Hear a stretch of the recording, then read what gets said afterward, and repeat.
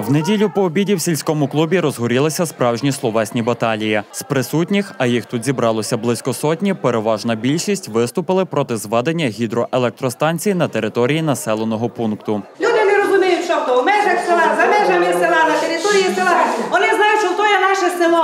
Навіть попри запевняння представників фірми забудовника, що це тільки перший етап проектування об'єкту, і без згоди людей ніякі роботи не проводитимуться, місцеві категоричні у своєму рішенні. Людям треба об'яснити, як, що то за ГЕС, ні? Може, то буде нікому а може, то буде Дніпро ГЕС, ні?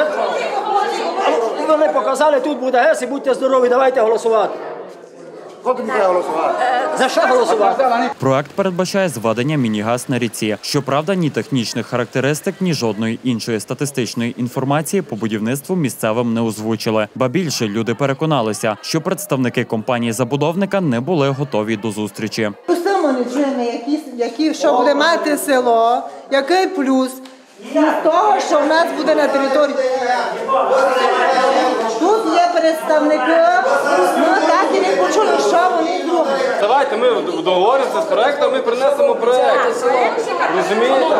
Так ми ж допустимо, то, що я сказав, це як одна пропозиція.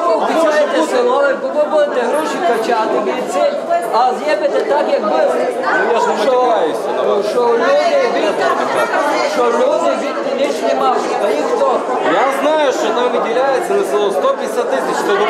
Це те, що я знаю. На зустрічі слово взяв і колишній очільник громади Василь Паш. З його слів, коли він перебував у відпустці, і почалися вимірювальні роботи на річці, що неабияк збурило громаду. За поясненнями, чоловіку довелось телефонувати районному керівництву, яке й надало певні дозволи компанії на проведення замірів території. Це я дзвонив при вас в адміністрацію. І що мені уповіли?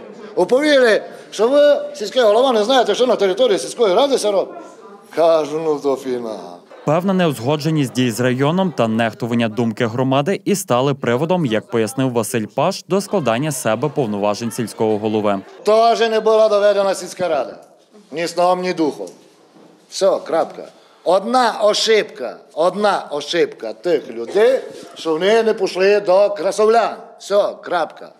Одна їхня ошибка. Я був голова села. Да. Ото є за межами населеного пункту. Ми всіх просили на виконком, хто там хоче робити, вчути їх. На виконком не прийшли, було прийнято рішення виконкома провести громадські слухання, громадські обговорення у клубі. Ніякі згоди, ні виконком, ні сесія, ні сільський голова, ні секретар, ні депутат, ні член виконкому не давав. Жителі села та його присілка бояться, що після зведення газ їхні криниці обміліють, а в річці зникне червонокнижна риба. Та навіть це не так лякає людей, як потенційна загроза підтоплення сільськогосподарських угідь. Воно усі, котрі нам вода міша. Там класти, води не буде.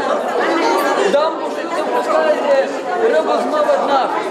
І така екологія. У нас проблема, у нас е, забирах, у школі не є. Якщо вони готові це все робити, юридично завірити і робити все, і тоді ми говорити з людьми. Я лише тут родом, аж жию той.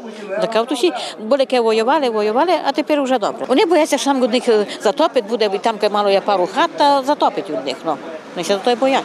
Перший бій громада Березова виграла. Однак люди побоюються, що це питання вже давно вирішене як в районі та області, так і на рівні столиці. А громадське обговорення тільки формальність, аби компанія-забудовник та ті, хто стоїть за цим, зберегли обличчя. Та місцеві налаштовані рішуче кажуть, примусять всіх рахуватися зі своєю думкою.